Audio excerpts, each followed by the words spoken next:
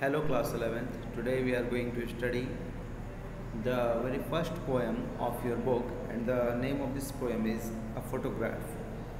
इस पोएम में जो पोएटिस है, वो पोएटिस अपने एक, उसके घर में कार्डबोर्ड पे मतलब एक फ़ोटो फ्रेम लगा हुआ है तो उस फ़ोटो फ्रेम को देखती है, और इस फ़ोटो फ्रेम को देखने के बाद उसे कुछ बातें याद आती हैं, और मतलब पास्ट की बातें याद आती हैं फिर उसको प्रेजेंट से रिलेट करती है और उस, वो जो पोर्ट्रेट है, वो जो फ़ोटोग्राफ है, वो उसकी मदर की है।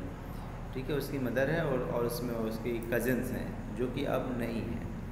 मतलब उसकी मदर एक्चुअली अब नहीं है कज़न्स आर स्टिल देयर ठीक है so let's start the poem The cardboard shows me how it was when the two girls cousins went paddling. मैं जब उस कार्डबोर्ड को देखती हूँ मतलब मैं जब उस पिक्चर को देखती हूँ shows me how it was तो मुझे पता चलता है कि उस वक्त सब कुछ कैसा था। When the two girl cousins went paddling जब मेरी दो कज़न्स गई थी घूमने के लिए किसके साथ, इनकी माँ के साथ मतलब पोइटिस की माँ के साथ, इसकी कज़न्स घूमने के लिए गई हुई थी। Each one holding one of my mother's hand और दोनों ने दोनों तरफ़ से मेरी माँ के हाथ को पकड़ रखा था। And she the big girl some twelve years or so और जब बड़ी बड़ी लड़की थी, उस वक्त तो उसकी एज थी बारह साल या उसी के आसपास। All three stood still to smile through their hair at the uncle with the camera a sweet face और ये तीनों ये तीनों स्टिल टू स्माइल ये तीनों खड़ी थी।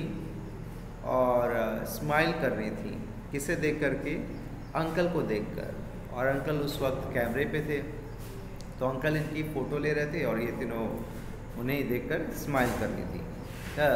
It has been written through their hair तो अब हेयर से कैसे स्माइल करेंगे? इट सिंपली मीन्स कि मतलब जो फोटोग्राफ में दिख रहा है फोटोग्राफ में ये दिख रहा है कि वो जो तीनों तीनों स्माइल कर रही हैं और उनके जो हेयर हैं वो वेव कर रहे हैं, ज़रा लहरा रहे हैं। और a sweet face my mother's मेरी माँ का चेहरा बड़ा ही प्यारा सा था।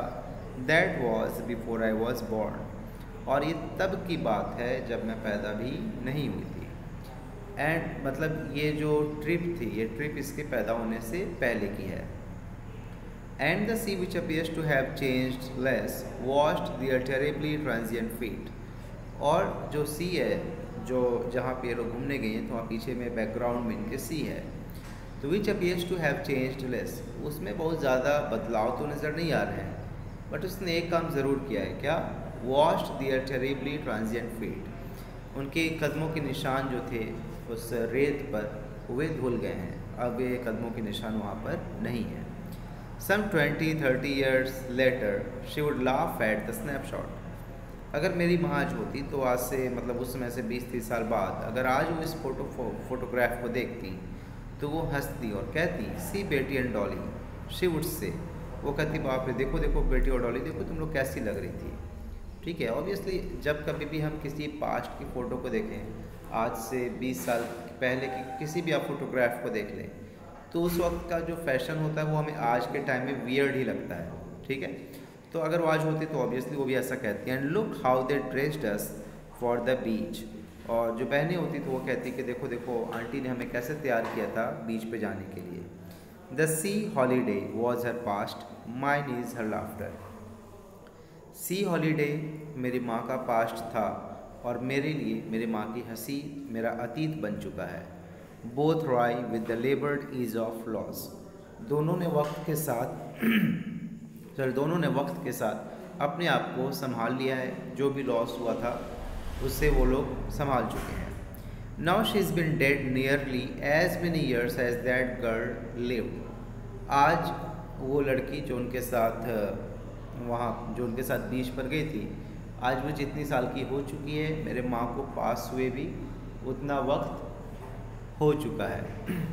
And of this circumstances there is nothing to say at all it's silence silences और अब इस बारे में, क्योंकि अब, चूँकि अब ना now she is getting very emotional क्योंकि अब इसको इसकी माँ की याद आ रही है और अब इसकी माँ की डेथ हो चुकी है, माँ इसकी है नहीं।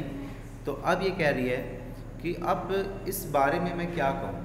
अब मुझे कुछ समझ में नहीं आता। There is nothing to say at all अब कहने को कुछ बचा ही नहीं है। इट्स साइलेंस साइलेंसेस अब बस खामोशी और खामोशी। मतलब क्या बस, अब आप खुद से इमेजिन कर लीजिए कि वो कैसा फील कर रही होगी, ठीक है? And that's it I believe you must have understood the chapter thank you have a nice